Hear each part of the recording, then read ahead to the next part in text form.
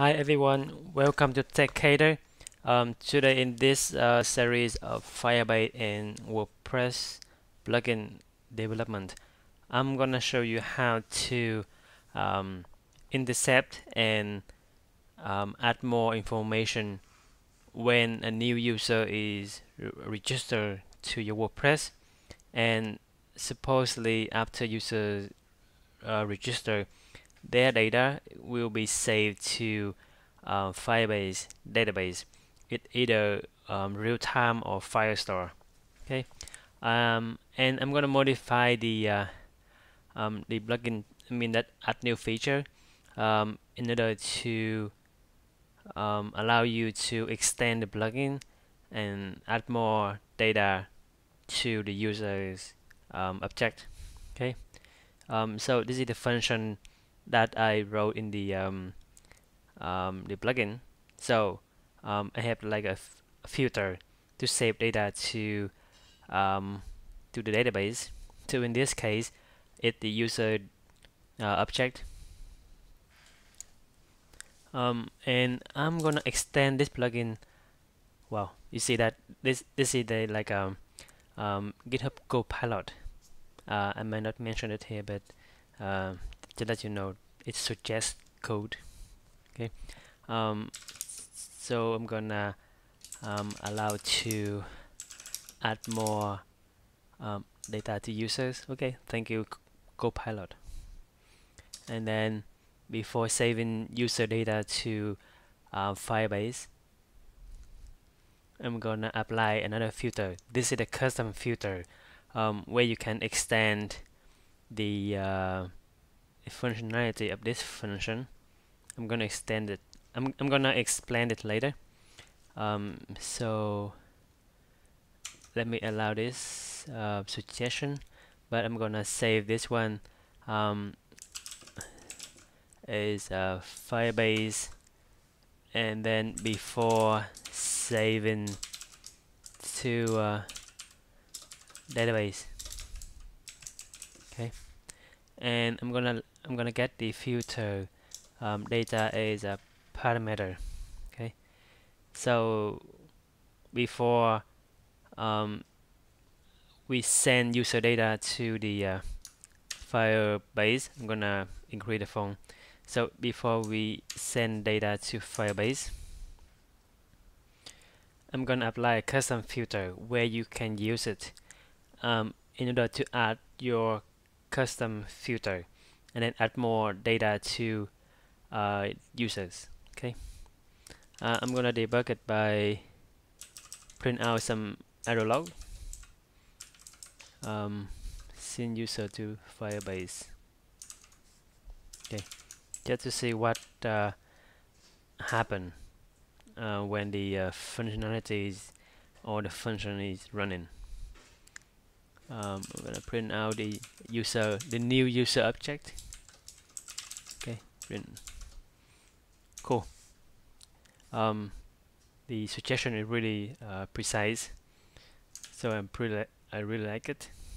Okay so we have a, a custom filter before sending data to um, to Firebase. Okay. So in another file um, such as your uh, function.php or your custom plugin.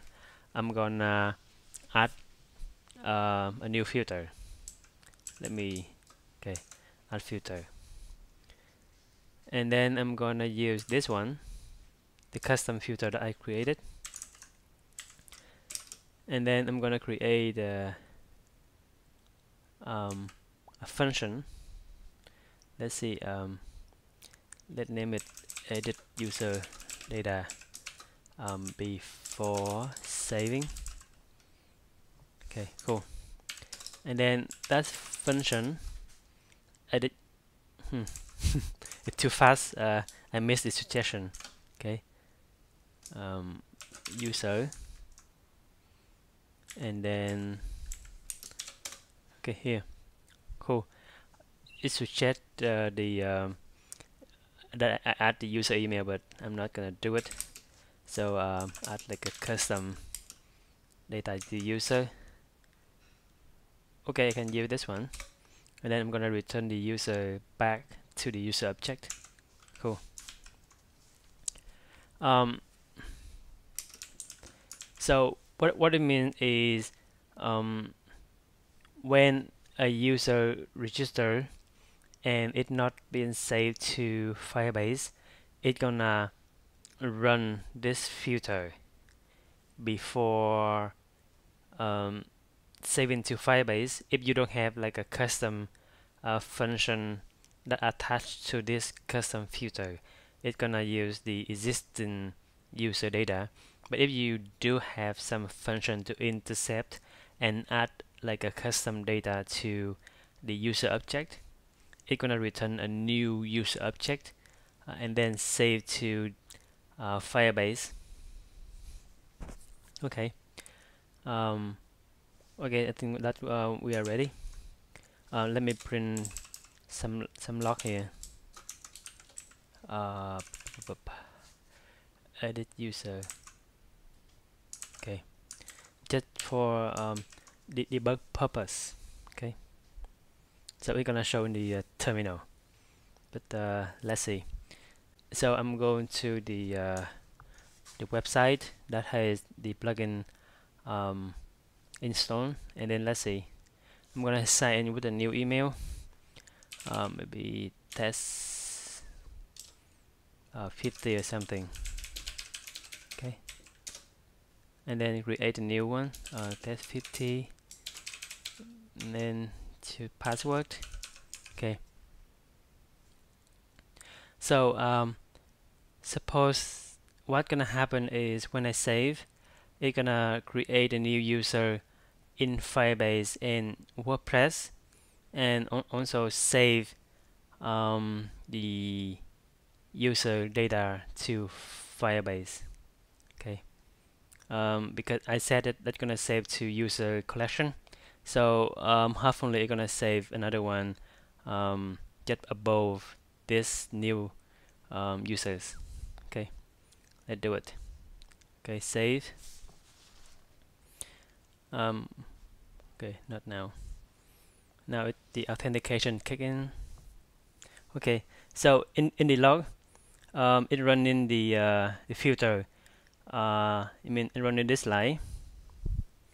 Before uh, it send user to uh, Firebase okay? Then it run this one and the user object it gonna use in order to uh, save to Firebase in this one it has the user ID uh, which is the Firebase user ID and the time of uh, the login of users with the display name. And then you're gonna have the WordPress user ID saved to Firebase too and the custom data that we just uh, added. And then let's check in the Firebase.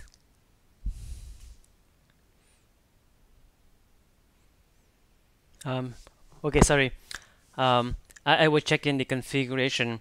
It's set to, to real time and to the uh, um, the path is WP users not Firestore. Okay.